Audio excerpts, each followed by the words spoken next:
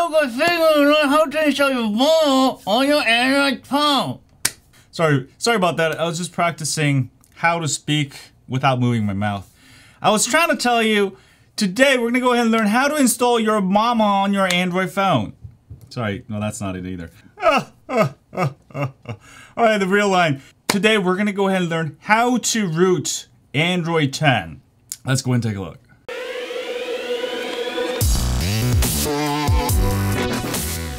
Alright guys, this will work on all Pixel devices running Android 10 and should work, actually work on other Android devices. Now, because Android 10 is slightly different, you will have to patch your kernel or the boot image. Alright, we're going to be able to do this using Magisk Canary. Alright, the Canary version, you can find um, you can find it um, go into the menu on highonandroid.com, go under rooting, and go ahead and click on the Magisk and Super SU. Alright, and you'll find the download Magisk Canary APK for Galaxy S10 and Android 10. Go and download the, this is different from the regular version, this is sort of a beta version. This allows you to patch your boot image or your kernel um, so you can enable roots. And you can go ahead and click here to download. Oops. And if it, that doesn't download, try um, doing long press and just do download link.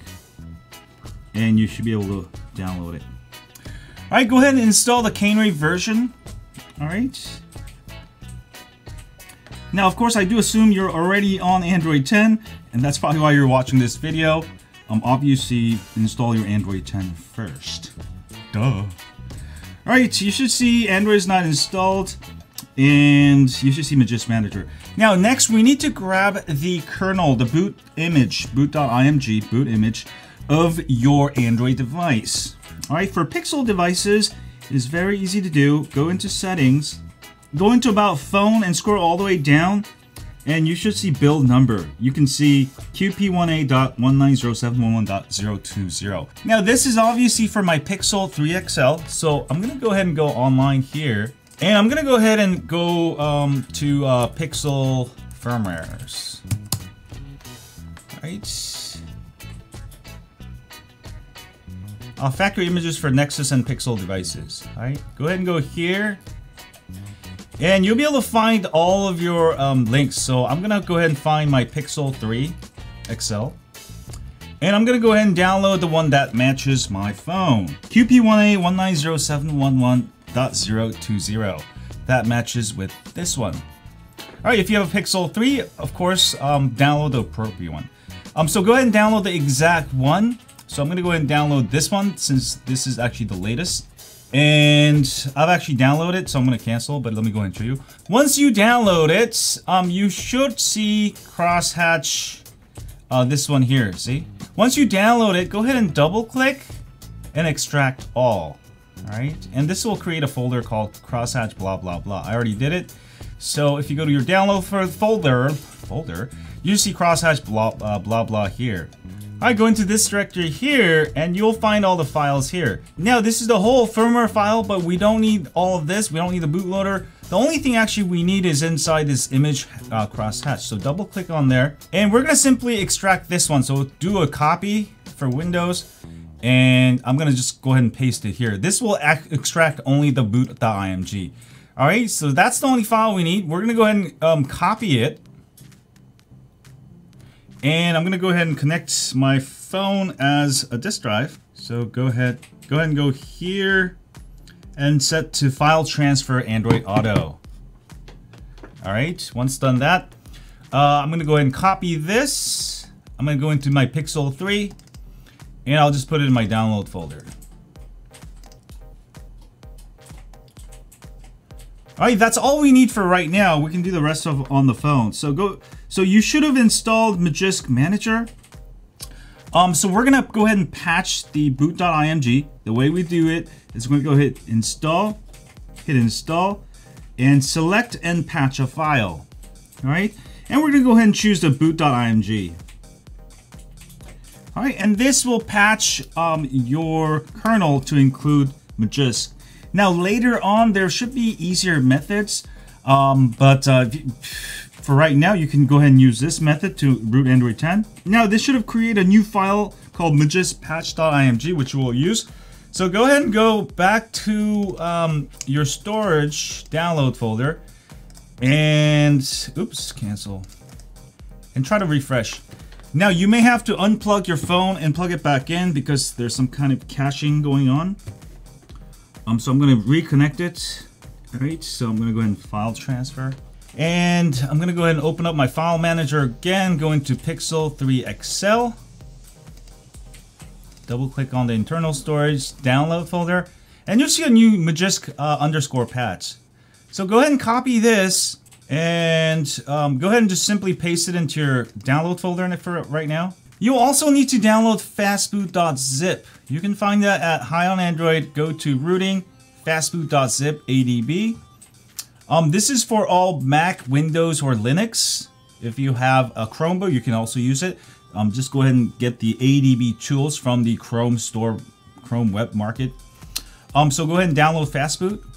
All right, all the download links are at the bottom where it says please wait here. All right, don't click on the ads. Click here to download. That will download the fastboot. And once you have downloaded the fastboot.zip, um, you're gonna go ahead and double click, extract all, and extract it into a folder called fastboot. And this will create a folder called fastboot.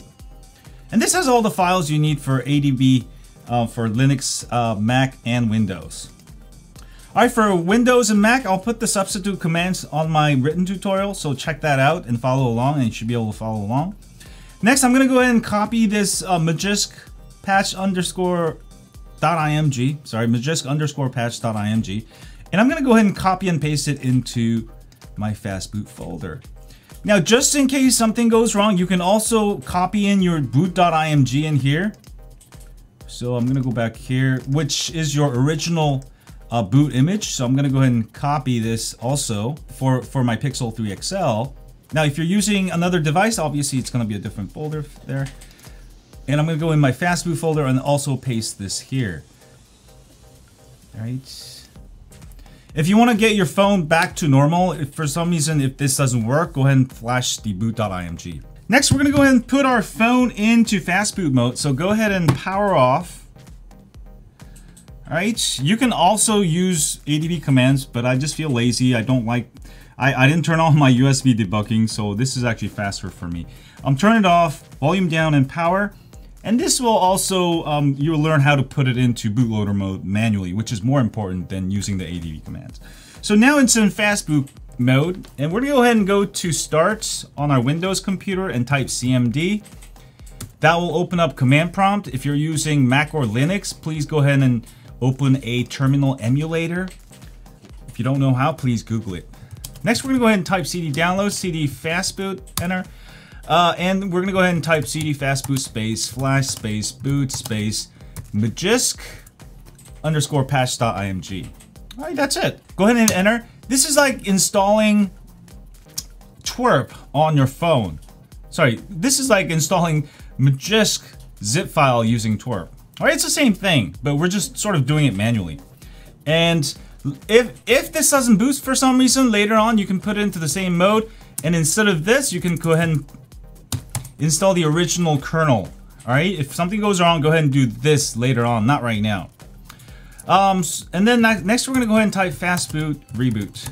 Again, I'll have the commands uh, for Linux or Mac, the substitute commands, but you can also follow along. Just read the written tutorial along with this video. And that's pretty much it. And it should boot, and we should have a fully working. And moment of the truth, you don't need your cable anymore. Go and open up Magisk Manager, and boom shakalaka. If it says, um, if you get a check mark there, that means it's been fully rooted. You can go ahead and install any rooted app now and go ahead and run it, such as Titanium Backup app, which highly recommend it for backing up all your apps and data. Um, so go ahead and run it and boom shakalaka. I've tested this on uh, Pixel 3, Pixel 3 XL, and should work fine for all the Pixel devices and also many other Android devices. You can actually pretty much use this for any Android phone. Um, this is sort of the manual method of rooting your Android device. Anyway, thank you guys for watching this video. This should work on all kinds of Android devices. You can Google it and see if it works or not. If you can't find anything, just try it. You can always reflash the original boot image to restore your boot image. Yeah, okay. When I do High on Android, you just show up, yeah, on the screen. Anyway, uh, have a great day, and as always, stay on Android. Click here to subscribe.